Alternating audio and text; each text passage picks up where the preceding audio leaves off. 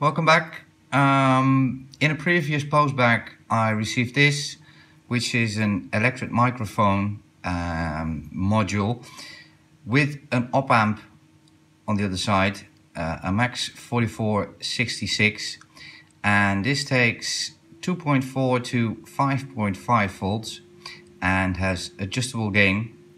Uh, on the back there is the adjustable gain pot, and I thought let's have a play with this. Um, I was looking at this module under the microscope. Um, I was trying to figure out what values they used for resistors and things. And then I noticed something weird. Let's switch to the microscope view. So this is the microscope view and let me focus that a bit better. This has happened. So my guess is, uh, as you can see, this metal bit of the capacitor is, is missing over there and somehow during packaging or shipping this has come loose or maybe has not been soldered properly at all. And this happened. Uh, I think we'll be fine because if I look sideways I can still see it making a, a connection. But uh, yeah it's kind of weird. Maybe I can get it off just by wiggling it. That's quite on there. Um, I'll leave it just like that. We'll be fine. So to use this module, uh, all we need is ground and VCC. Uh, VCC can be anywhere from 2.4 to 5.5 volts and we should get an output signal. Um, it came with some headers which are these headers. And I was about to solder them on using my breadboard technique just put them in the breadboard sliding over the module and then soldering it on. Um, but then I realized if I do that and it's sitting in the breadboard like this let me see if I can get the pins in the potentiometer for the adjustable gain is on the back and I want to be able to face the microphone wherever the sound's coming from, uh, probably me, and uh, still be able to adjust the gain. So I went and searched for some other headers, which I had, which are these headers which have a 90 degree bend in them. Um, so that way I can solder this on like that. That's kind of hard to do on camera solder it on like that and sit it straight up into the breadboard and still be able to adjust the gain. So let's heat up the soldering iron and I'll get out some white tack just to hold it still. And I'm going to use 0.7 millimeter solder wire for that soldering iron should be hot right now. Start with VCC. Let that cool down. Normally when I solder I have a, a fan that blows away the solder so I don't breathe in but it's kind of noisy so I didn't turn it on. Let's do the ground pin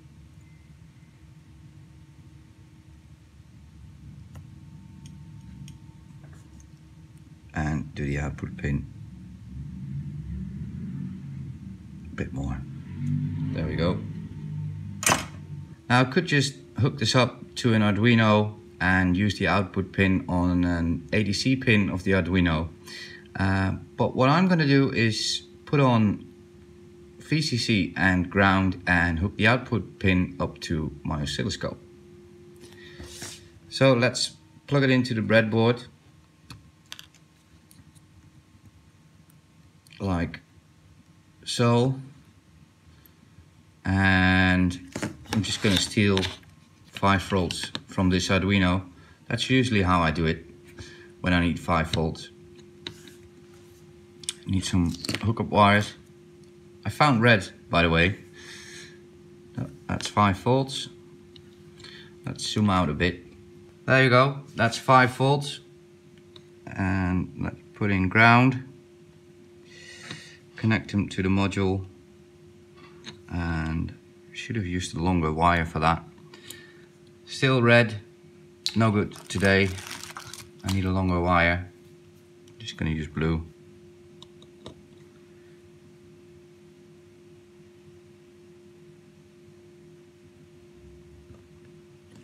So here's the probe of my oscilloscope.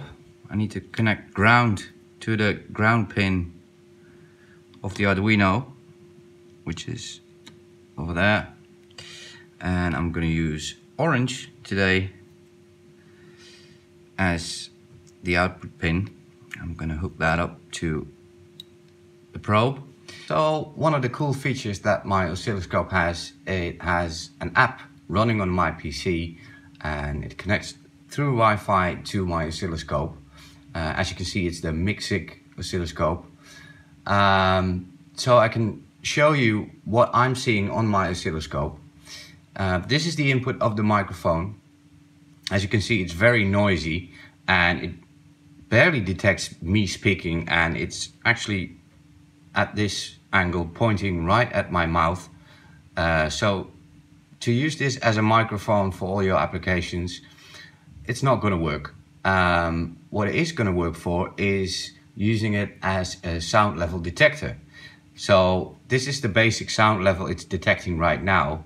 Uh, if I clap, you should see it registering on the oscilloscope. And we could use that in, for example, Arduino to detect a level of sound. Um, a simple circuitry uh, is a clapper circuitry, uh, which uses a clap, so a peak in volume, uh, actually a peak in voltage, uh, to detect whether a sound or a clap is made, and then does something. Um, I'm gonna make one, and I'm just gonna put one LED in and use clap to turn the LED on or off. So back at the bench, I can uh, now disconnect the oscilloscope because I'm not going to use that anymore. And instead, I'm going to connect the output to analog 0 on the Arduino. And then open up Arduino. And this is the sketch I got from Adafruit. Uh, I've changed nothing so all it does is it takes a 15 millisecond sample, uh, averages that out and displays the voltage in the serial monitor. Um, just have to upload the sketch to the Arduino and then open up the serial monitor. And this is the voltage that is coming through pin A0 of the Arduino. And if I now clap again, you can see, I don't know if you can see that on, uh, on video, you can see a peak in voltage. Um, we're going to use that peak in voltage to do something, uh, in this case turn on or turn off an LED. So before I can write the code for that, uh, I need an LED and I have one of these LEDs with resistors on it. And I'm just going to plug it in anywhere. Um, I need the ground pin I was just using for my oscilloscope. Uh, I need that uh, to go to the cathode of the LED. Just switch that around. I need another wire to go to the anode of the LED, so the positive, and I'm gonna put that in pin 2. So that's digital pin number 2.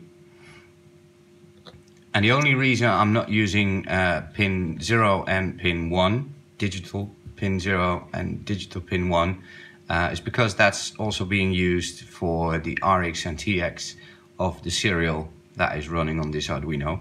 This is the code we used earlier to detect a voltage on the analog pin. Uh, I just changed a few things. I added an integer, uh, which is current state, which I'm going to use in this bit of code to check whether the LED is on or off. Um, I've set the pin mode of pin 2 to output and over here um, there's an if statement.